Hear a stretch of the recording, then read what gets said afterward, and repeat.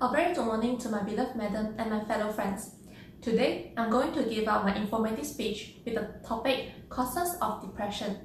According to American Psychiatric Associations, depression is a very common but nevertheless a very serious medical illness that negatively affect on a person's emotions, how the individual respond, and how a person thinks. Fortunately, it is treatable. Depression causes feeling of sadness, or a loss of interest in activities you once enjoyed.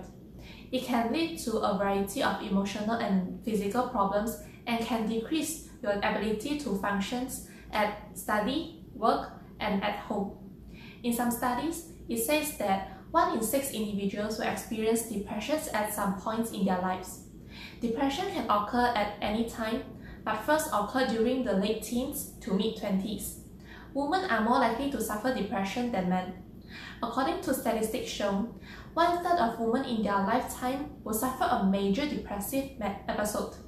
Symptoms of depression may range from mild to serious. For mild symptoms that are most common in a person with depressions, such as feeling sad or having depressed mood, appetite changes like weight loss or gaining are related to dieting, trouble sleeping or sleep too much. Meanwhile, for serious symptoms such as feeling useless or guilty, trouble concentrating and making decisions, and the thought of death or suicide are the most significant.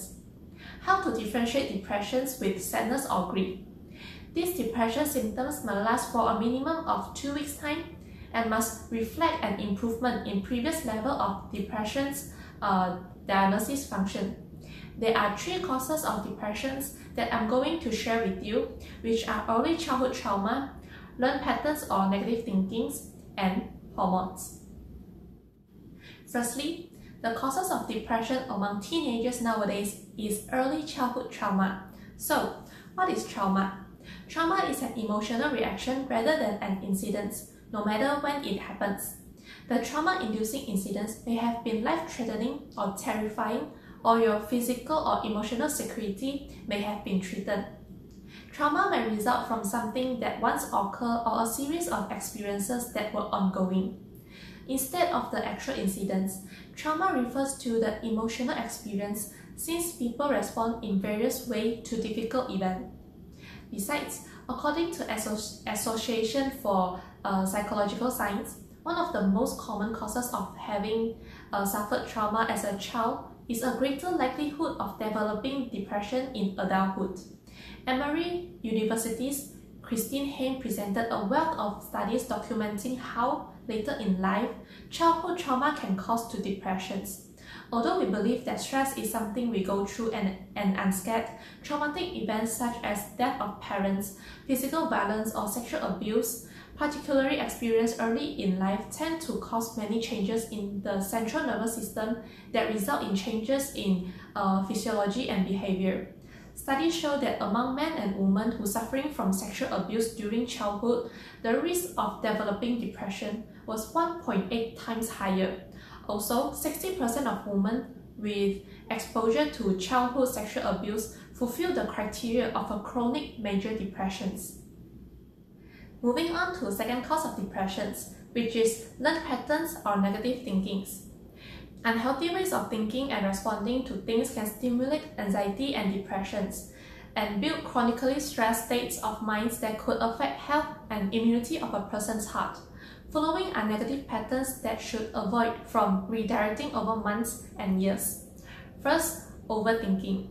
This is because in your mind, you go over and over multiple decisions, trying to imagine every potential consequences and all that might happen in the future to make sure that the choices that you make is perfect. Secondly, negative ruminations. Rumination is a form of negative thoughts in which, like a car stuck in a snowdrift, when you keep thinking about more and more bad, bad outcomes that might possibly happen, ruminations will make you even more nervous. Over time, habit, habitual negative thoughts habits become physical neural traits of your brain through the neuroplasticity process. If any little things ever stress you, your brain can reinforce links, making it reactive and nervous.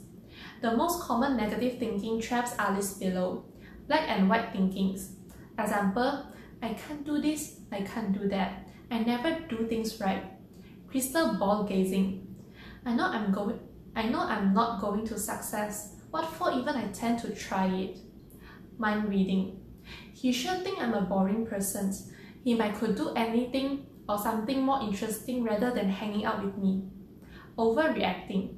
Why she never seen my message or reply my message reply my message in hours. She dislike me. She hates me. Self-blame. She didn't talk to me today. She must be mad at me. Lastly, the cause of depression among teenagers nowadays is due to hormones. This harm begins at the most basic, biological levels. Research has found that trauma affects on how the brain and body react to stress and the development of hormones and neurotransmitter in the brain. Any of the adult problems found to be linked to childhood trauma include depression, anxiety, uh, suicide, violence, post-traumatic stress disorder, or drug use disorder like smoking.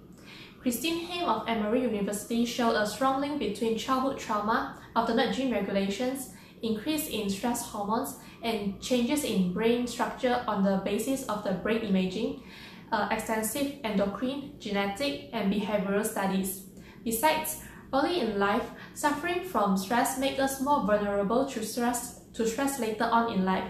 In different uh, physiological and behavioral changes, the evidence for this can be seen in blood pressure, blood glucose level, and heart rates, as well as eating habits, disturbed sleep cycles, and fear conditions.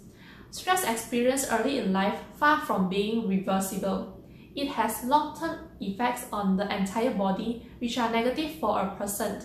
Furthermore, medical conditions can mimic symptoms of depressions such as thyroid disorder, brain tumor, or vitamin deficiency. Thus, the, uh, it, is, it is important to rule out general causes. Therefore, in conclusions, depression itself is a challenging mental illness to handle. It is possible to deal with depression with good treatment to get relief from symptoms and try to learn to enjoy life again. You need to adjust the automatic negative thoughts that playing in your head to not to get dragged down by your mind. This will feel like trying to swim upstream at first, but it can be done with patience and time. Uh, th uh, that is all from me. Thank you for listening.